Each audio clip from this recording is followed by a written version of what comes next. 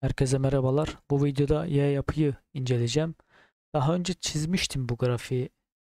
Birçok gökkuşağı gibi dest- trendler var. Sarıyla en altta bir ana trend var. E, mor, pembe, siyah, kırmızı. Kırmızı trendi aşağı kırmış arkadaşlar. Siyah civarından destek almış. 20 günlüğün üstünde olması güzel. 20 günlük 2.37 civarından geçiyor. 2.37 destek diyebiliriz şu anda. Onun altına da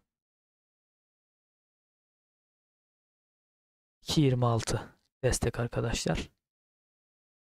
Direnç olarak da Fibonacci'leri verelim. 2.46 var.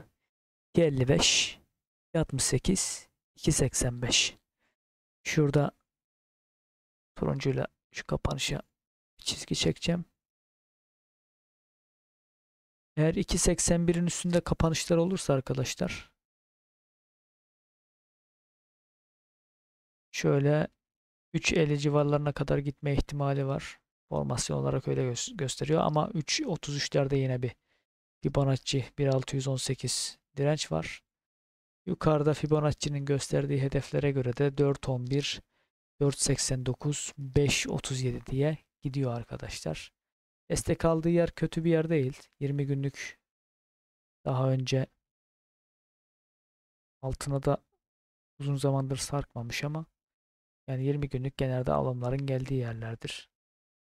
Şöyle dalgalı şekilde gitme ihtimali olabilir. Şu şekilde.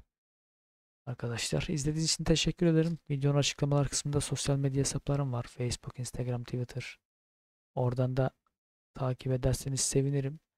Facebook grubumuza bekleriz. 5000 üyeye ulaştık. Canlı yayınlar da açıyoruz bazen Facebook'ta. YouTube'da da açıyoruz. Açarsak akşam 9 gibi oluyor. Ee, orada teknik temel analizler de yapıyoruz. Dikkatimizi çeken hisseleri paylaşıyoruz yatırım tavsiyesi olmadan.